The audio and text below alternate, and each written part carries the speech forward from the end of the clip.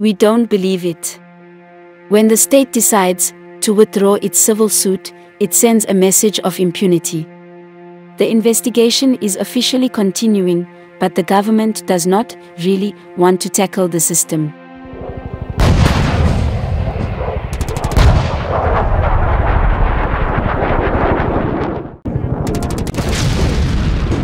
As the Sahel region became a hotbed of violent extremism, Niger, a West African country, embarked on a massive military buildup with the backing of the US. Between 2011 and 2019, the country spent about 1 billion US dollars on its defense sector. But then, a confidential government audit obtained by the Organized Crime and Corruption Reporting Project, OCCRP, revealed that nearly a third of that money was diverted into shady international arms deals.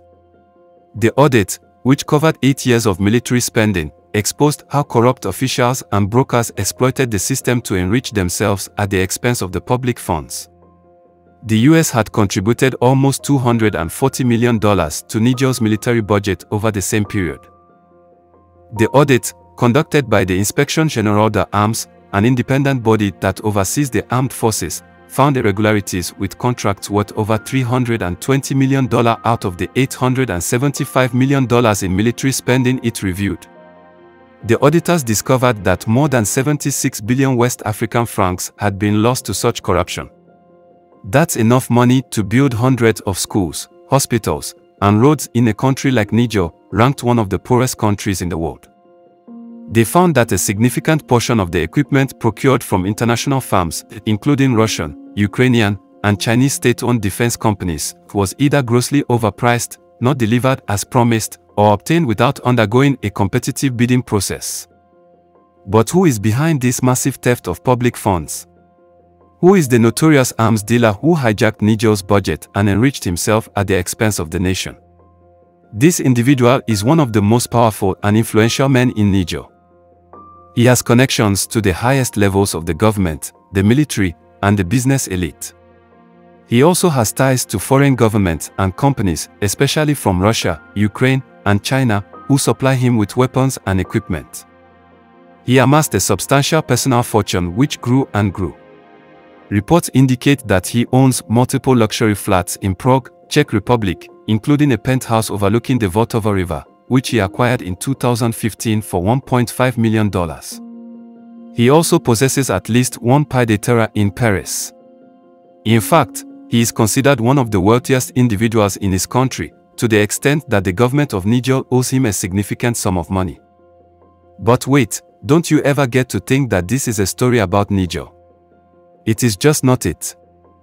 This is a story about how a ruthless and greedy individual can manipulate a system and rob a nation of its resources and dignity. It is a diegesis about how the international community can turn a blind eye to the suffering of millions of people and the violation of human rights. An expose revealing how the arms trade has fueled conflict, violence, and instability not only in Niger but Africa.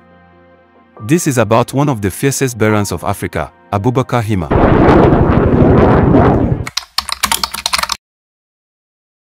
Amidst the bustling energy that permeated the offices of the Association Alternatives Espaces Citoyens, that is Citizen Space Alternatives, located just a stone's throw away from the sandy racetrack of Niamey, a young man would arrive on his Japanese motorbike. The presence of this young entrepreneur, Abubakar Hima, and his distinctive bike became a familiar sight in the community, especially among those who knew the association's director, Moussa Tchangari, who was a community figure. Although Hima was a student at a vocational school, learning the intricacies of the business world, he had already started his life as an entrepreneur. Described as discreet, reserved, and trouble-free by those who knew him, Hima earned a reputation as someone who caused no grievances. People who knew him said, no one had any complaints about him. Back then, Hima had not yet adopted the monikers Petit Boubé or Fair Style that would later become the nicknames associated with him. At that time, he was just an unassuming presence, someone you might encounter around the office or at the central market without paying much attention or even noticing him. Like many young Nigerians who grew up during the presidency of Ibrahim Baré Maïnassara in the late 1990s, Hima took on odd jobs, and his parents were content to let him do so. Despite having recently obtained his scientific baccalaureate at Lycée Bosso, following his time as a student at Lycée Issa Korombé, Hima could barely count the number of kilometers he had covered on his motorbike. The young Hima later found a place to live in the Koroja district in the capital southwest, but he frequently visited the neighborhood of Abidjan, where his family resided, as well as the bustling central market. It was there that he began his entrepreneurial journey, selling small calendars and other printed materials. At Alternatives Espaces Citoyens, Hima often spent time with his friend Wilfried, a journalist from Benin who was responsible for the association's desktop publishing operations.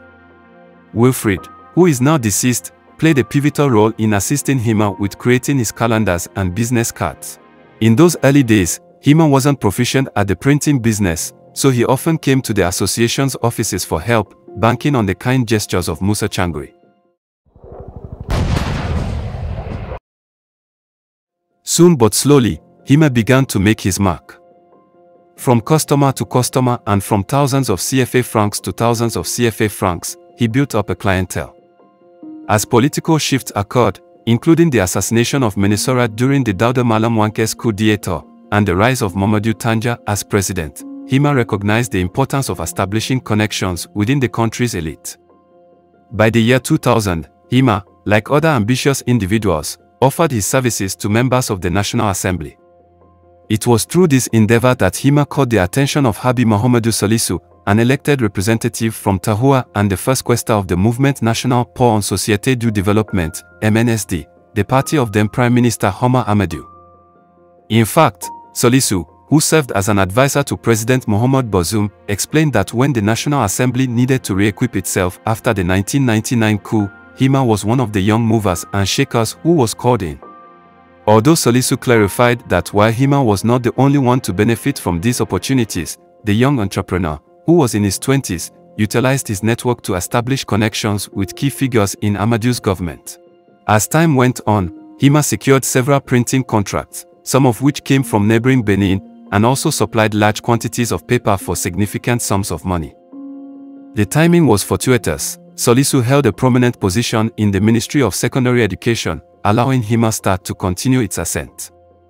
Hima's business ties extended to other ministries as well. Salisu even attested that, at the time, he was getting small contracts worth up to 15 million CFA francs. During Amadou's tenure as prime minister, Hima carved out a reputable position for himself. He built a relationship with the prime minister, who was undoubtedly considering the possibilities that lay ahead. Within the MNSD, Amadou had garnered a loyal following of devoted supporters who collaborated with him on his post-Tandja political endeavors. In 2003, as one of the most influential figures in Niamey, Amadou set his sights on the presidency of Niger. He vigilantly monitored the opposition, especially the Part 1 Nigerian Polo Democratic Itilu Socialism, PNDS, and its leader, Mahamadou Issoufou. The latter had the support of one of Maman Abou, a journalist, party activist and owner of Nouvelles Imprimeries du Niger, NIN, Niamey's biggest printing company. Amadou was skeptical of their relationship so he decided to counter it by launching his own printing firm. For Hama Amadou's loyal followers, the idea behind this venture was to possess their own printing company, thereby preparing for the post-Tandja era that loomed ahead. It was envisaged as a tool to consolidate power, but the caprices of politics intervened. Hima saw the opportunity within this power tussle and seized it by setting up Imprimerie du Plateau, a printing business that remains active today. This enabled him to gain access to other influential circles within Niamey. But this did not quite spell the demise of Hima's ambitious entrepreneurship career. He had already embarked on a different trajectory. Towards the final moments of the Tandja era, he secured a contract with Mohamed Musa, the Minister of Agricultural Development, to supply a crop dusting aircraft to the Nigerian government. By this time, Hima, now commonly referred to as Petit Boubé, had surprisingly amassed considerable wealth. In 2005, he cemented his fortunes by marrying Samira, one of the daughters of the late Ibrahim Baré Maïnassara, former Nigerian military officer, and the fifth president of Niger who ruled from 1996 until his assassination in 1999. Interestingly, Samira's mother, Clemence Baré, happened to be a neighbor of Hima's father, Masi Hima, a prominent official in the livestock ministry commonly known as Major. The families shared a long-standing acquaintance. HIMA skillfully capitalized on this connection. It opened doors for him within Niamey's elite circles.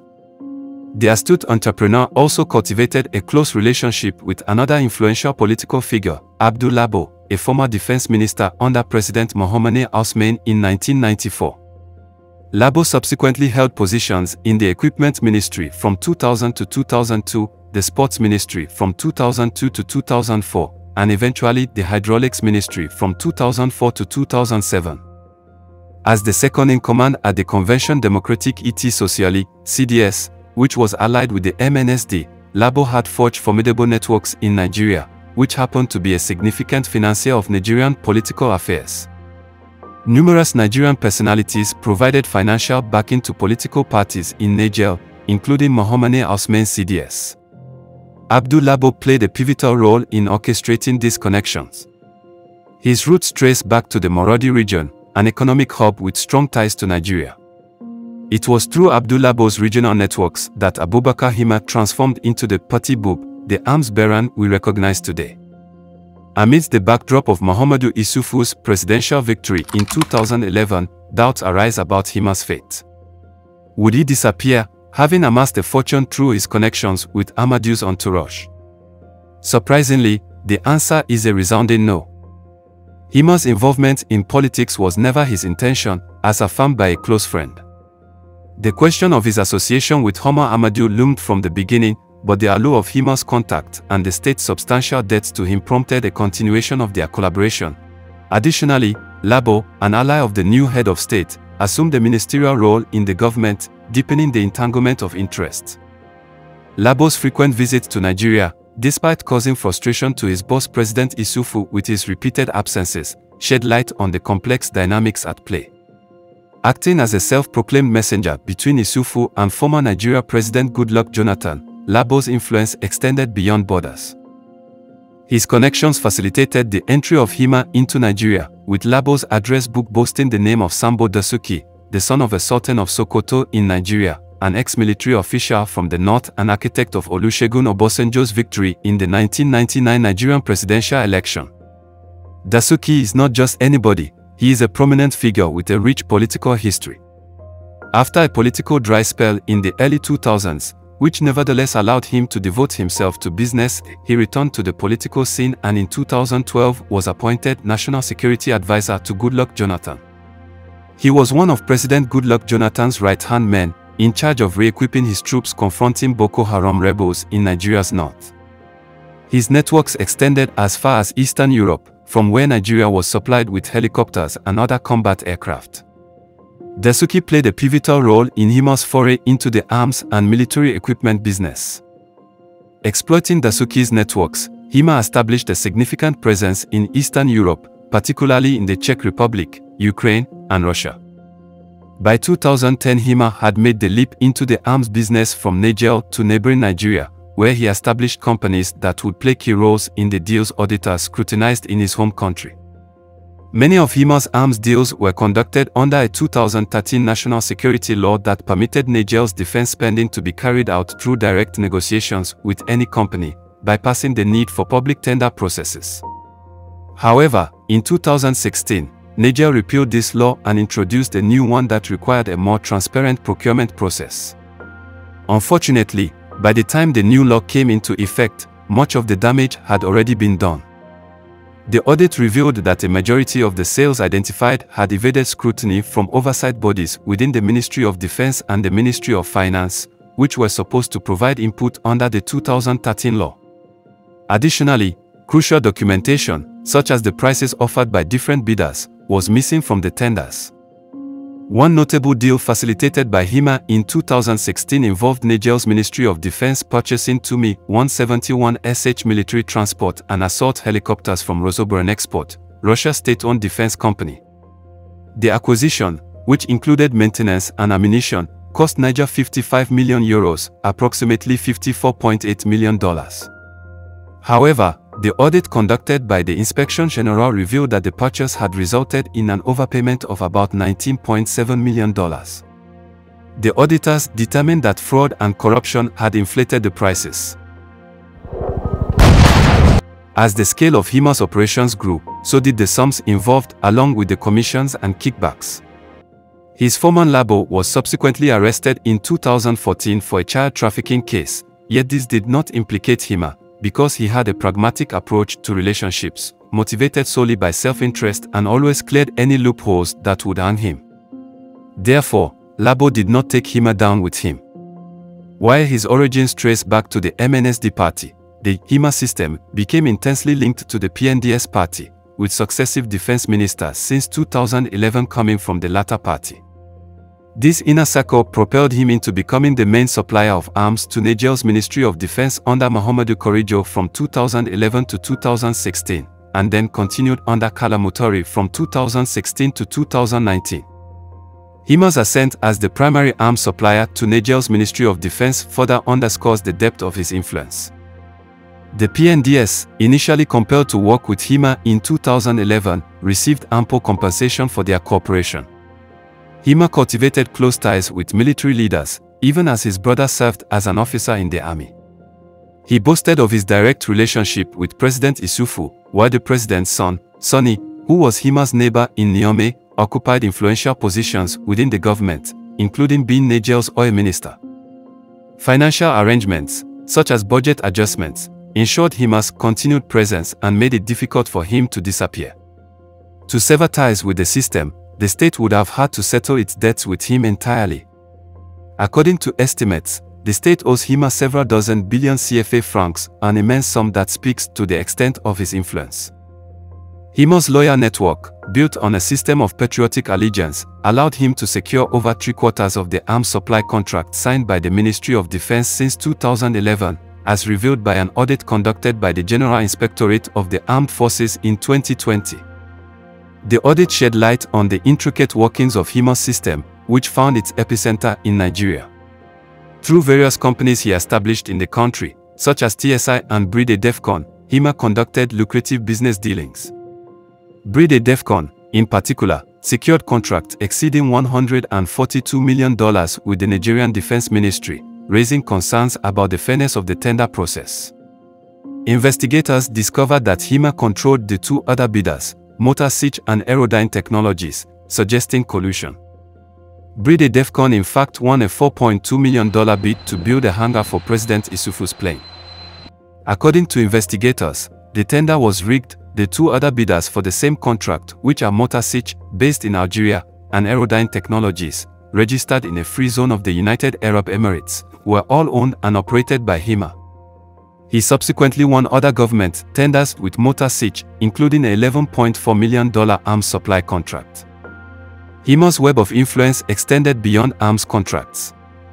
He leveraged his Nigerian company, TSI, as the official representative of Rosoboronexport, the Russian state arms export company, in Niger.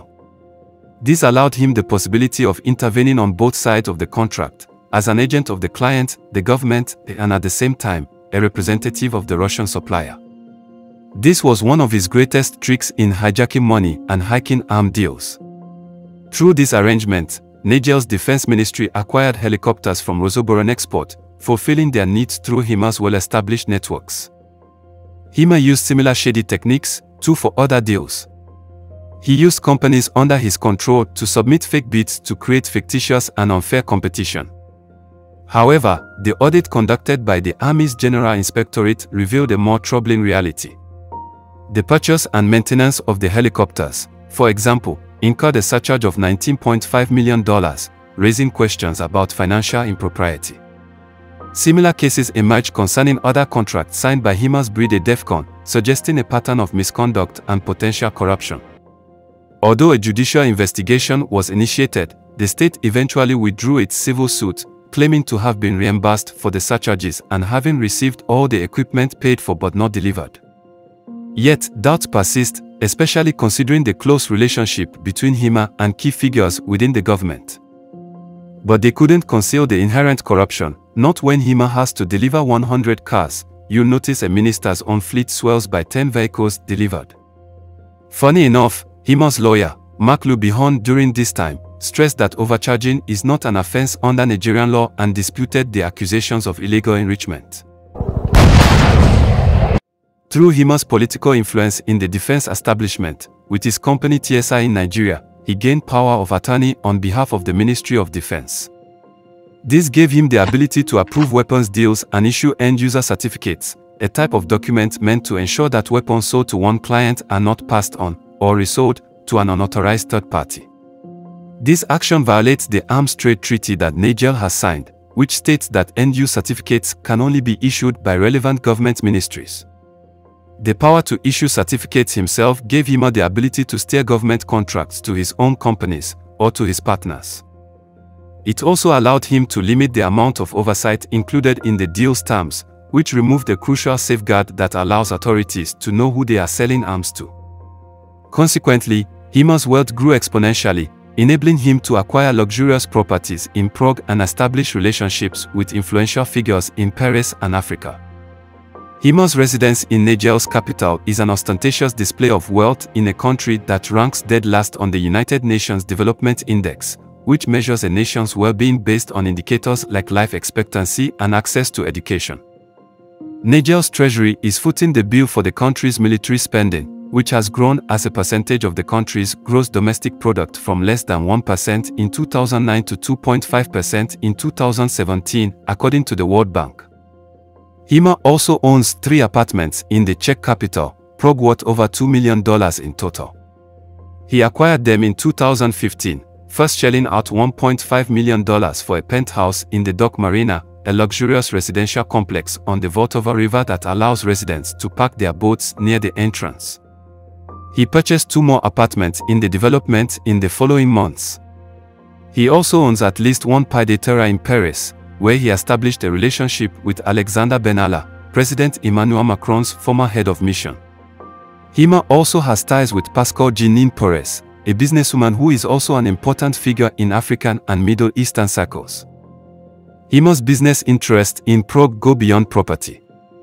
His now defunct Nigerian company, Bride Defcon, frequently partnered with a Czech-registered firm with a similar name, Defcon S.A.O, in 2009, according to the audit. In 2017 and 2018, the Czech firm fulfilled a $33.6 million contract from Niger's government to deliver 80 trucks manufactured by the Austrian firm Steyr.